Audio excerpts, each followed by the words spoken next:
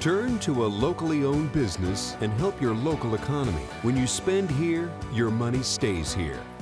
Here at Vermont Bedrooms, we're proud to be your neighbor. Always buy Vermont first.